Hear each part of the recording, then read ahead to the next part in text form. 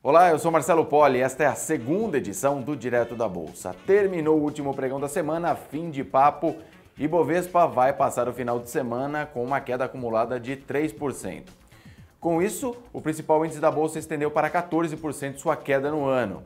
Mas teve ação que ignorou o movimento negativo do índice nesta semana. Croton Educacional é o papel que mais ganhou de segunda-feira para cá, valorizando quase 10%. Aliás, no acumulado do ano, os papéis da Croton deixam o Ibovespa comendo poeira com alta de 60%. Nesta semana, o mercado repercutiu muito bem o resultado da empresa no terceiro trimestre.